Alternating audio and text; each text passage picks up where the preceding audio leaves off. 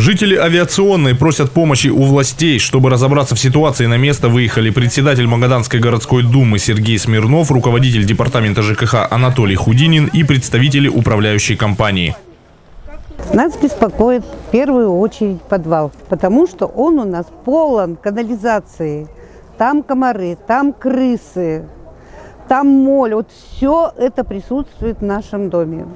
Из-за этого у нас, я живу на первом этаже, у нас полы, можно сказать, потому что вода постоянно и полы холодные, плюс ко всему от того, что сырость от этого еще.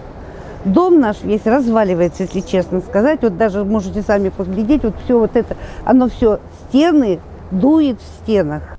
Со слов жильцов, весь цокольный этаж, на котором находятся коммуникации, принадлежит частному лицу еще с 90-х годов. Контроль и своевременное обслуживание их уже долгие годы не осуществляются. Кроме того, на территории микрорайона находятся ветхие постройки, которые притягивают детей и представляют для них опасность. С советских времен недостроенный и уже разрушенный фундамент спортивного комплекса каждую весну подтапливает. Родители говорят, что дети часто ходят туда смотреть на так называемое море. В числе прочего, в микрорайоне нет ни одного магазина. Чтобы купить продукты, вещи, лекарства, лекарства и прочее, жители вынуждены ехать 13 километров до областного центра. Вывоз мусора с данной территории не производится, а на месте, где стоит единственный контейнер для отходов, образовалась свалка.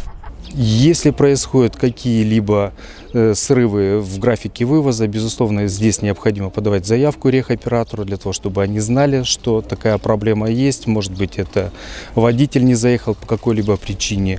Но э, все эти вопросы решаются. Председатель Магаданской городской думы Сергей Смирнов осмотрел территорию микрорайона и его проблемные участки. Среди них старые выгребные ямы, затопленные колодцы с электрическими кабелями. И те, и другие, по его мнению, представляют опасность для жителей и их детей. Вижу проблемы, которые могут решаться в ближайшие дни.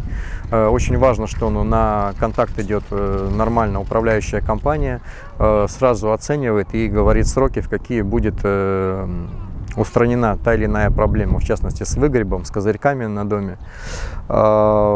Есть серьезные проблемы, которые влияют на скажем так, безопасность детей. Э, много детей гуляет и очень много открытых э, инженерных сооружений, которые остались от снесенных домов, либо какие-то брошенные стройки.